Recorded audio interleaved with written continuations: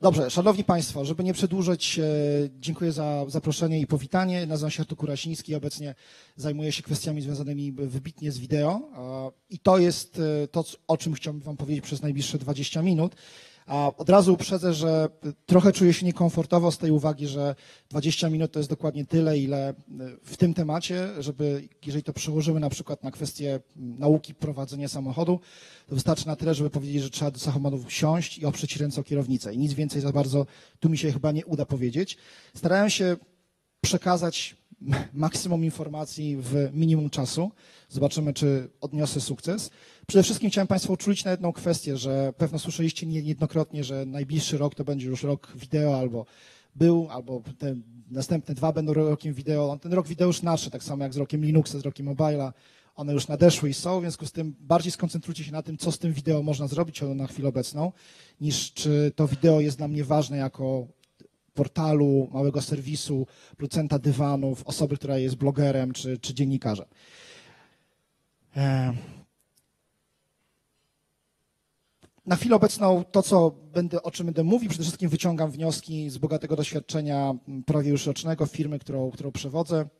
Zajmujemy się w tej firmie właśnie tym, żeby pomagać firmom wprowadzać się w świat internetu, głównie pod kątem właśnie wideo. I robimy to niezmiernie e, z uśmiechem na twarzy, natomiast widzimy parę problemów. Przede wszystkim bardzo duża część osób nadal nie rozumie, jak bardzo ważnym elementem jest e, tworzenie własnych treści.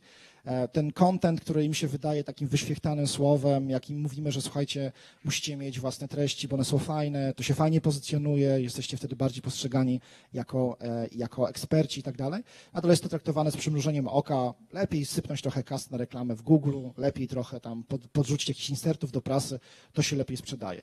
No i tak i nie, dlatego że, dlatego że żyjemy w takich ciekawych czasach, których e, obecnie konsumpcja mediów, a szczególnie treści wideo, zmieniła się drastycznie. Właściwie chyba nie było takiego momentu w historii ludzkości, kiedy ta uwaga od głównego medium, którym był kiedyś telewizor, zaczęła się przenosić na różnego typu inne wynalazki i gadżety. Jeżeli popatrzycie po tym, jak wy konsumujecie wideo na chwilę obecną, czy treści, to się nagle okaże, że kiedyś mówiło się o dwóch ekranach, czyli ekranie głównym, na którym leciało, powiedzmy, nie wiem, telenowela oraz na naszej ekranie telefonu komórkowego lub tabletu, na którym komentowaliśmy to na swoimi znajomymi w siatce społecznościowej. Na chwilę obecną jeszcze mamy dodatkowo konsole do gry, gdzie można, też są jakieś sieci społecznościowe, Mamy kilka telefonów, mamy e, zegarki, mamy różnego typu inne rzeczy, które są również nosicielami odtwarzania, odtwarzają treści. Przede wszystkim te treści tam można bardzo ładnie podawać. No i problem głównie marketerów, właściwie firm, marek, ludzi, którzy chcą zainteresować świat tym, czym, co oni chcą sprzedać, jest taki, jak trafić, w jaki sposób do tych osób, które mają, muszą mieć tak dużą ilość gadżetów, e, to jest kwestia samego medium, czyli jak tworzyć treści na zegarek Apple'a, na telewizor Samsunga, który jest e, super fajny, jest smart, jak robić to na mojego laptopa, na mojego tableta. I pamiętajmy, że tych tabletów jest kilka, kilkadziesiąt rodzajów, tak, od androidowych poprzez iOS-owe i tak dalej, i tak dalej. Dochodzimy do takiego momentu, w którym tak naprawdę to jest bardzo piekielnie trudne i ciężkie. Niemniej jednak niektórym to się udaje. Ja dzisiaj nie będę mówił o tych najważniejszych, największych, tak naprawdę owianych największą, e, największym sukcesem kampanii. Chciałem powiedzieć Wam bardziej o tym, jak robić na poziomie takim, jak zazwyczaj robi się w Polsce, czyli z budżetem 0 zł, bo to jest większościowy problem osób, z którymi się spotykamy. Wszyscy lubimy czytać o genialnych kampaniach Coca-Coli, Samsunga, Nike'a, Forda, nie wiem, Apple'a, ale to prawda jest taka, że to są kampanie robione za ciężkie dziesiątki, jeżeli nie setki milionów złotych. E, jeżeli patrzymy na to, jak się lanczuje nowe filmy chociażby, tak, to niewiele osób kojarzy, że no, najnowszy film Stevena Spielberga będzie prawdopodobnie miał budżet reklamowy większy niż wszystkie polskie firmy razem wzięte z 2015 roku i tak dalej, i tak dalej. Więc podniecajmy się tym, że niektórym wychodzi lepiej niż nam, a z drugiej strony pamiętajmy, i to, to jest moje takie ulubione, takie bardzo startupowe, że tak naprawdę pod koniec dnia to trzeba nauczyć się tego robić za własne pieniądze, czyli z budżetem rzędu właśnie kilkudziesięciu złotych na dzień dobry, nauczyć się tego i zacząć to robić odpowiednio i skalując, a nie idąc od razu z budżetami milionowymi. Zresztą mam też takie wrażenie, że większość z tych agencji, które działa na rynku polskim, właśnie tego się dopiero uczy, że nie jest sztuką wydać milion złotych, tylko jest sztuką wydać 10 tysięcy, ale trafić do tej grupy, uzyskać taki efekt, na jakim zależy klientowi. To jest bardzo ciężkie, dlatego że jak ze wszystkim. Ja mam taki ulubiony przykład, e, on też idealnie pasuje niestety do środowiska startupowego. Było jakieś takie badanie e, kreatywności wśród dzieci. Dzieci zamknięto w jednej sali, powiedziano, że nie mogą przejść przez podłogę dotykając ją nogami, zostawiono im wiele przedmiotów w tej sali. No i dzieci co robiły? No, poinstruowano odpowiednio, zaczęły kombinować, w związku z tym położyły na tej sali różnego typu przedmioty na podłodze i przechodziły na przykład na jakichś tam e, ścierkach lub też na jakichś klockach. No się udawało. Potem eksperymentatorzy zrobili level B tak zwane, czyli utrudnili dzieciom zabawę. Powiedzieli, że likwidują 99% właściwie tych zabawek, zostawiają im niektóre tylko elementy. Co dzieci wykombinowały? Część z tych dzieci brała deskę albo dwie deski, na jednej stawała, drugą kładła przed sobą, stawała na kolejnej i tak dalej, powtarzała to. Czyli można, tylko jeżeli na początku powiemy tym dzieciom, macie wszystkie zabawki w tym pomieszczeniu, zróbcie coś, to one nie będą kreatywne, bo one nie muszą. Rzeczywistość do tego nie nakłania. Jak będą, jak obetniemy im, zagęścimy atmosferę, to się nagle okazuje, że zaczynamy ruszać mózgownicą. I to jest większość problem polskich polskiego internetu, polskich mediów, polskich agencji e, interaktywnych, mediowych i tak. Trochę jesteśmy kuszeni z jednej strony dużymi budżetami. Chcemy tych dużych budżetów, bo to jest fajnie przytulić odpowiedni procent od tego budżetu, a z drugiej strony trochę jeszcze nadal nie umiemy robić tych kampanii, które są naprawdę takie bardzo, bardzo down to earth, ale z uwzględnieniem tego, że klientowi pod koniec dnia czymś zależy. I to na przykład zajęło nam ogromną ilość czasu, żeby obs koczyć rynek i sprawdzić, czego naprawdę chcą klienci. A klienci chcą jednej podstawowej rzeczy, właściwie dwóch. Albo sprzedawać swoje produkty, albo tego, żeby o tych produktach mówiono. I to są dwie rzeczy. Jak gdyby inne są wypadkowo tych dwóch pierwszych. To jest bardzo nieprawdopodobne, jak, jak często słyszymy pośród e, dużych firm, które przychodzą, z którymi rozmawiamy, no my chcemy to, to i to, to i to, no i powoli odzieramy tą cebulę, ten przekaz marketingowy. Mówimy, dobrze, odrzućmy to, to jest bullshit marketingowy. To słyszeliśmy na wielu konferencjach. Czego chcecie naprawdę?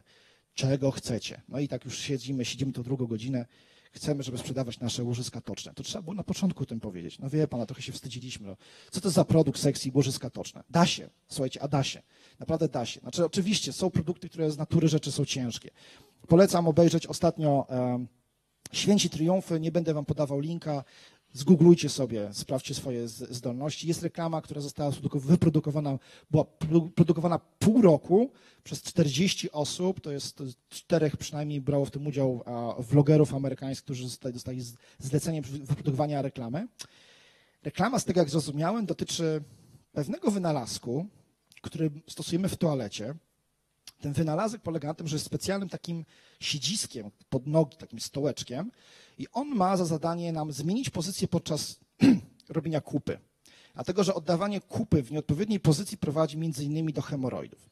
I to jest cała gdyby e, naukowa do tego, e, naukowy opis. Wyobraźmy sobie, że przychodzimy z takim briefem do kogoś. Mówimy, zrób mi produkt, albo inaczej, kampanię marketingową, która reklamuje mi stołeczek, od którego nie mamy, powiedzmy, hemoroidów, tak? No więc polecam wygooglować sobie tę kampanię, ponieważ tam jest jednorożec, który robi lody, e, te lody ludzie liżą i tak dalej.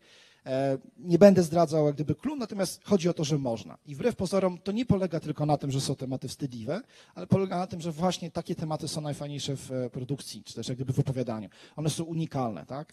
Jak powiedziałbym Państwu o 58 kampanii związanej z launchem jakiegoś produktu samochodowego, to Państwo by usnęli. A jak Wam powiedziałem o tym, że jest taki stołeczek, to, większość z Was nigdy nie, nie, będzie tego stołeczka miała, ale będzie o nim słyszała i będzie coś jej w głowach e, klikało. Więc zachęcam do tego, żeby przede wszystkim patrzeć przez perspektywę, no może nie takiego obrzydliwego kosztu, czy też dotarcia do klienta, ale żeby odzierać i na koniec dnia wiedzieć dokładnie, czego się chce. Jeżeli Państwo są firmą, która już ma jakąś pozycję na rynku i umiecie dotrzeć do swoich klientów, to pewnie bardziej będzie Wam zależało na tym, żeby Wasza firma utrwalała się, tak? czyli ten słynny brand awareness, żebyście mogli po iluś latach powiedzieć, jesteśmy numerem jeden, powiedzmy, w produkcji kominków, tak? Przepraszam, Tomek albo jesteśmy numerem dwa, albo numerem jeden w produkcji opłat samochodowych, tak?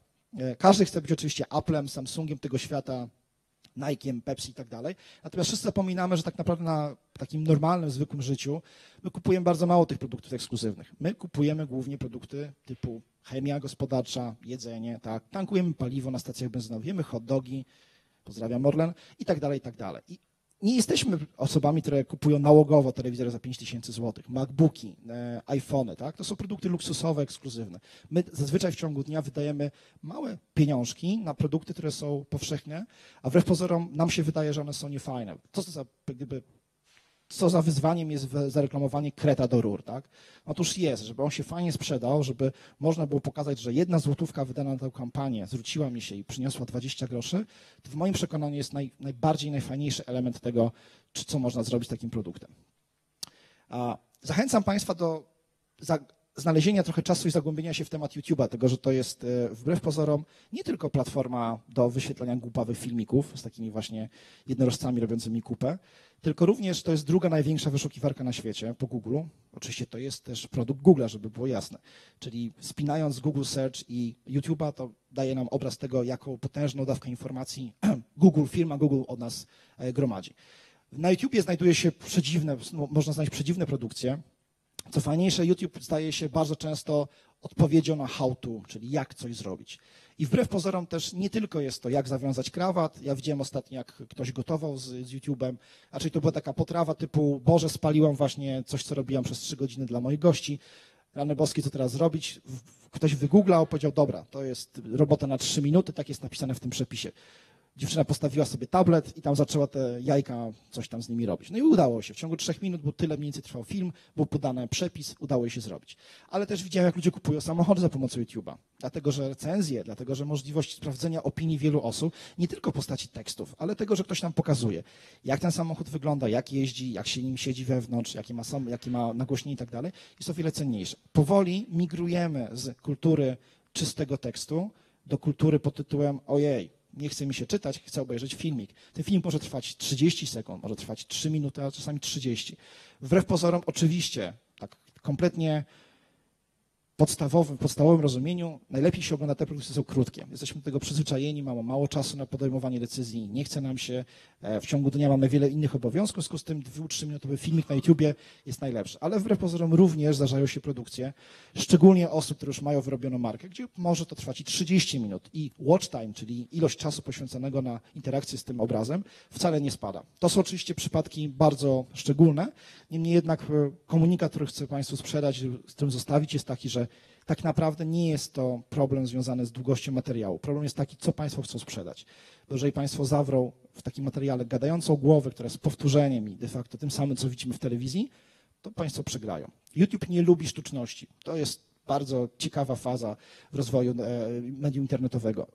Internet pozwala na od, oddarcie z takiego łudy, z takiej iluzji, z takiego właśnie trochę telewizyjnego, napompowanego sztucznie lansu, bo w internecie ludzie mogą szybko znaleźć e, o nas prawdę.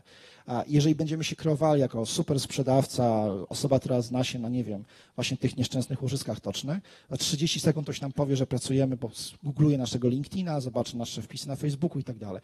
I nas po prostu postawi do konta. W związku z tym to, co jest pięknego na YouTubie, to jest to, że oczywiście możemy próbować coś udawać, ale wygrywają ci, którzy są autentyczni. I tak naprawdę to jest clue, o czym chciałem Państwu powiedzieć e, w ciągu tych 20 minut. E, to znaczy, to jest kilka przepisów na to, jak zaistnieć, może inaczej, co się dzieje, jeżeli już mamy pewnego typu treści, co możemy z tymi treściami robić. Jeżeli przyjmiemy założenie, że mówimy o budżetach rzędu 0 zł albo 0 zł plus minus 1 złotówka, no to niestety musimy prawdopodobnie po, zapomnieć o tym, żeby wykupować reklamę, bo reklama jest bardzo kosztowa. Pewno musimy przygotować tak te materiały, tak zaistnieć, chociażby na tym YouTubie, ale pamiętajmy o tym, że ekosystem system platform wideo jest bardziej rozbudowany. Facebook niedługo będzie bardzo poważnie atakował, już przypuszcza parę ataków, ale teraz w tym roku myślę, że dojdzie do pewnego przesilenia, jeżeli chodzi o walkę między YouTube'em a Facebookiem. Mówimy też o Instagramie, mówimy też o Snapchacie. E, każdy z tych serwisów ma swoją grupę docelową i dobrze jest wiedzieć, gdzie my chcemy z tym komunikatem dotrzeć. Jeżeli mówimy do milenialsów, to raczej pójdziemy na Snapchata. Jeżeli mówimy do osób starszych, raczej skierujemy się na YouTube'a, bo tam jest ta, ten target jest o wiele szerszy. Niemniej jednak, jeżeli na przykład mamy swoje treści, to mogę je chcieć zareklamować albo mogę chcieć puścić na nich reklamę. To mi umożliwia między innymi bardzo dobrze ekosystem Google'a, a dokładnie AdSense'a. W tym wypadku również możemy zrobić product placement. Jeżeli byłbym vlogerem, znanym vlogerem i miałbym swój program, który jest oglądany przez powiedzmy kilkaset tysięcy osób, to przyjdzie do mnie w pewnym momencie jakaś marka i powie, słuchaj, mógłbyś zrobić tak, że w trakcie swojego filmiku ty pokażesz jakiś produkt, na przykład nasz nie wiem, szampon do włosów i tak go tam będziesz trzymał przed kamerą i tak dalej. To jest bardzo popularne, się nazywa product placement, to wymyśliła telewizja, tak? Nie internet, tylko telewizja To jest o tyle fajne, że bezpośrednio nie mówimy kup teraz 9,90 do nabycia w Biedronce, tylko mówimy to jest fajny produkt, zobacz, ja ogrzewam swoim blaskiem fajności ten produkt, ten produkt po prostu jest naprawdę dla tobie, tobie bardzo potrzebny. I to jest super, natomiast oczywiście nie można przegiąć, bo jak pamiętają Państwo, może było kilka polskich filmów, w których product placement był e, postawiony na głowie i właściwie wszystko, czego dotykali bohaterowie, to był product placement. I to była karykatura. Natomiast w internecie da się to zrobić dobrze. To, do czego ja dużo swoich klientów e, nakłaniam, to jest e-commerce. Rozumiany w ten sposób, że budujemy treści, budujemy pewnego typu opowieść, narrację, jak powiedziałby Paweł, po to, żeby na końcu tego procesu oglądania filmu powiedzieć super, ja chcę to kupić. I to się da zrobić z grami komputerowymi, z podwiązkami, z perfumami, z, właściwie z dowolnym produktem. Widziałem całkiem niedawno e, film reklamowy polski, którym panowie jeżdżą czołgiem po wysypisku śmieci. No i reklamują wysypisko śmieci. To, to wysypisko jest pod Pruszkowem, przejeżdżałem kiedyś, sprawdziłem, faktycznie jest tam i maszyna do gniecenia samochodów, i góra hałda takich porozrzucanych metalowych rzeczy i tak dalej. Komu by przyszło parę lat temu wyreklamować wysypisko śmieci? Przecież to jest temat zupełnie nieseksy, a jednak można. Ten filmik nawet ma całkiem niezłą grupę, e, czy liczbę wyświetleń, czyli ludzie chcą takie rzeczy oglądać. I zapewniam was, że niezależnie od tego, co macie u siebie, co sprzedajecie, co chcecie sprzedawać, kim jesteście, można zbudować pewnego typu narrację, opowieść marketingową o waszym produkcie, o was, o waszych usługach, po to, żeby ją odpowiednio ładnie ubrać w obrazki, wstawić do jakiegoś narzędzia typu właśnie platforma YouTube i zacząć to potem na końcu monetyzować. To jest oczywiście długotrwały proces, on wymaga specjalistów, wymaga zaplanowania i tak dalej, ale jest możliwe. I oczywiście to też nie będzie kosztowało 0 zł, natomiast zachęcam Was do tego, żeby pogłębiać swoją wiedzę, ponieważ wbrew pozorom nie tylko agencje reklamowe, freelancerzy, dom mediowy mają omnipotencję i wiedzą wszystko. Na, na dzień dzisiejszy w internecie jest tyle źródeł, tyle miejsc, gdzie możemy się nauczyć sami niektórych rzeczy, że to nam bardzo łatwo obcina koszta subskrypcja. Jak jesteśmy już bardzo znani albo jesteśmy rozpoznawalni, możemy powiedzieć, słuchaj, ja część rzeczy publikuję za darmo, ale druga część, albo na przykład ta fajniejsza, bardziej pogłębiona, będę ją wypuszczał w formacie subskrypcji. Zostaw mi dolara miesięcznie, czy tam 5 zł, a wrócę do ciebie z newsletterem, w którym będziesz miał podane linki, będziesz w moim elitarnym klubie. Wbrew pozorom to również jest bardzo fajna opcja, dlatego że jesteśmy przyzwyczajeni jako chociażby ludzie, którzy kupowali przez wiele, wiele dziesiąt lat gazety, do tego, że jak płacimy za coś, no to co miesiąc otrzymujemy, czy co tydzień otrzymujemy jakąś porcję papieru, my konsumujemy, czytamy ten papier, potem ten papier wy, wyrzucamy. Natomiast płacimy za to, że ktoś nam ten papier dostarcza, on drukuje, tworzy te treści. W internecie jest podobnie, w serwisach, platformach wideo również. To jest bardzo fajne, jeżeli naprawdę mamy dużą grupę docelową, ale ta grupa docelowa na przykład nie do końca chce nam płacić za produkty jakieś wysokiej ceny. Możemy sobie zbudować Excela, gdzie pokażemy, że mamy 100 tysięcy użytkowników. Jeżeli tylko 10 tysięcy z nich, czyli, czyli 10% zapłaciło złotówkę, to co miesiąc mamy stały pasywny przychód na poziomie 10 tysięcy złotych. To jest całkiem fajna kasa, jak dla osoby, która na przykład siedzi przed komputerem i nagrywa 2-3 filmy miesięcznie. A gwarantuję Wam, co zresztą pokazują ostatnie liczne konkursy, że akurat wideo jest bardzo nośnym tematem. Dużo osób zaczyna być popularnych, przenikać z takiego świata internetowego do świata telewizyjnego. Radek Kotarski jest tego doskonałym przykładem. Człowiek, który kilka lat temu odpalił swój kanał na YouTubie, polimaty, gdzie mówi na różnego typu tematy. Mówił o hołdzie pruskim, mówił o tajemniczym uśmiechu Monalizy i tak dalej, i tak dalej. Chyba to była Monaliza. A teraz prowadzi program e, podróżniczo-turystyczno jakiejś telewizji publicznej.